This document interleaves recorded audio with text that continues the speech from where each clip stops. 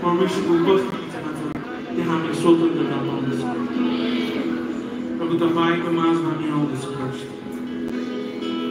प्रभु हाम्रो हृदयको आँखा परमेश्वर तपाईँले खोल्नुहुन्छ हालेलुया हाम्रो स्वर खोलेर परमेश्वर तपाईँ तपाईँ मान्छेको उपस्थिति बुझ्नुहोस् हालेलुया प्रभु पवित्र आत्माले गरिदिनुहोस्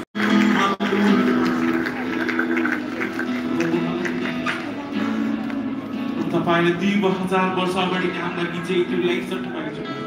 प्रभु यस ठाउँमा आज हामी भेला भएको छ। प्रभु तपाईँलाई महिमा दिन तपाईँलाई प्रशंसा दिन हामी यस ठाउँमा भेला भएको छ। हालेलुया